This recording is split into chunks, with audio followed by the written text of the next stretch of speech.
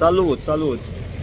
Am uh, norocul să trăiesc într-un oraș unde pot să dau de oameni care trăiesc bucuria vieții, dar uh, dau de oameni care trăiesc în contrast, oameni care trăiesc fără speranța zilei de mâine, fără puterea de a se recupera, de a sta deasupra linii de plutire. Sunt oameni care au așa de mulți bani că nu știu ce să facă cu ei. Sunt oameni care nu au bicicletă, în timp ce alții călătoresc la servici, la birou cu elicopterul. De exemplu,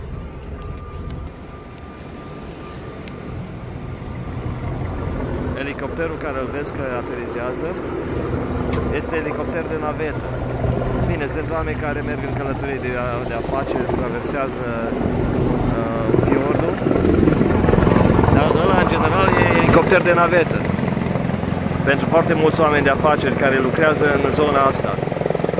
Ăla este autobuz pentru oameni ca mine și ca tine. Autobuz pe apă. Asta este navă de croazieră pentru cei care au bani extra mai mult decât banii care îi ajută să supraviețuiască. Și sunt oameni care explorează lumea. Ăla este om care lucrează pe apă. Asta este locul lui de muncă. Nu este barcă de plăcere, este barcă de lucru.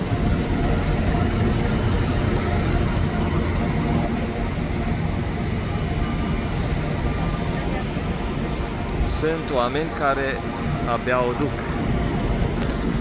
Alții, cum spun, lucrează în clădiri impunătoare, în așa zisele zgârie nori,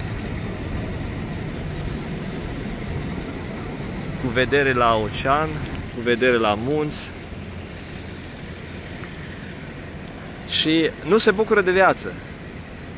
Din acele clădiri impunătoare, de la birourile cu vedere la ocean, sunt oameni care au nevoie să trăiască în droguri, în alcool, în prostituție după servici. Uh, recent am uh, vizionat un film, un film cam șocant. Uh, am rămas neplăcut impresionat, dar asta pentru faptul că am dat de asemenea oameni. Se numește, filmul se numește American Psycho. Vorba de un om de afaceri care lucra la bursă și care, deși avea bani ca să îi ajungă câteva vieți, avea o viață de lux, deși avea viața asta, înăuntru era putred, era bolnav, era e, încărcat cu durere. Și aceste gânduri, aceste trăiri îl împingeau să uh, își imagineze că el uh, este criminal în serie, că omoară prostituate, că omoară oameni care îi stau în calea lui, care nu-i fac pe plac.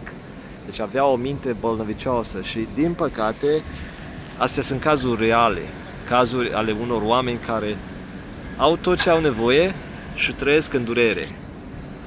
Este o durere mentală care nu înțelege nimeni deseori trec în zona asta unde, unde strada e plină de uh, oameni fără adăpost. Este strada care e în fața mea, dar aici este zona la câțiva kilometri de zona unde trăiesc oamenii pe stradă, unde dorm oamenii pe stradă, unde se droghează oamenii pe stradă. Și astăzi am avut așa o, o revelație.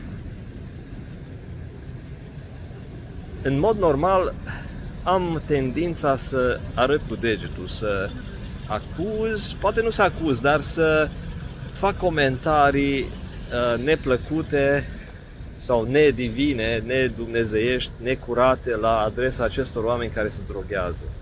Deci asta este tendința omului normal.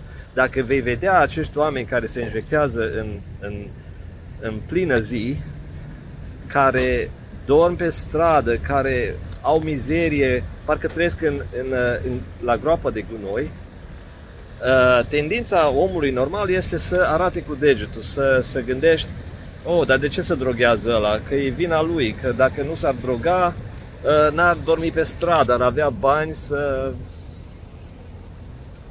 să trăiască undeva, să plătească o chirie sau să păstreze un serviciu. Deci asta este tendința omului normal și eu sunt om ca și tine.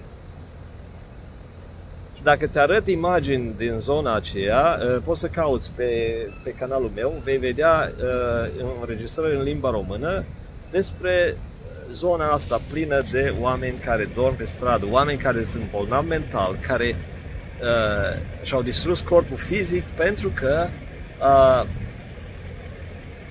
toată energia pe care au avut-o, care le-au mai rămas, bateria corpului lor sau uh, puterea lor energetică și-au folosit-o în distrugere. În loc să o folosească în construirea unei vieți mai bune, să meargă la un loc de muncă, să păstreze un loc de muncă, să iubească, să ajute pe cineva, să meargă la o biserică, să se roage pentru alții, să spună o vorbă frumoasă, ă, acea putere mentală și acea energie care era în trupul lor și-au irosit-o în gânduri apăsătoare, în gânduri depresive, în acțiuni demonice, în distrugere, în distrugerea personală și a altora, în ă, păcate și încet, încet, ă, dintr-o ființă construită de o creatură divină, noi credem că este un Dumnezeu care ne-a construit acest suflet, uh, din, dintr-o asemenea persoană care s-a născut aproape la perfecție, a devenit un gunoi uman, un, un rest uman format din uh, o structură biologică, un corp biologic care nu mai gândește, uh, nu mai,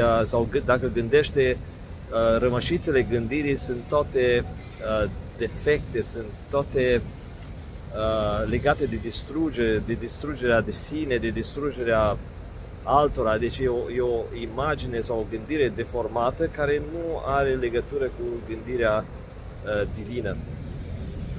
Și uh, am avut așa o mică revelație. Astăzi am stat și, uh, adică am avut un client la care trebuie să mă întorc și am zis, hmm, eu am oameni cu care lucrez în România, uh, deci cumva le, uh, îi susțin emoțional, îi, le dau un fel de, se numește coaching sau un fel de asistență de la distanță ca acești oameni să trăiască mai mult decât linia de plutire, deasupra liniei de plutire. Oameni care și-au pierdut uh, busola, care și-au pierdut direcțiile în viață sau care nu au avut niciodată direcție în viață datorită traumelor, datorită uh, copilăriilor, copil, evenimentelor din copilărie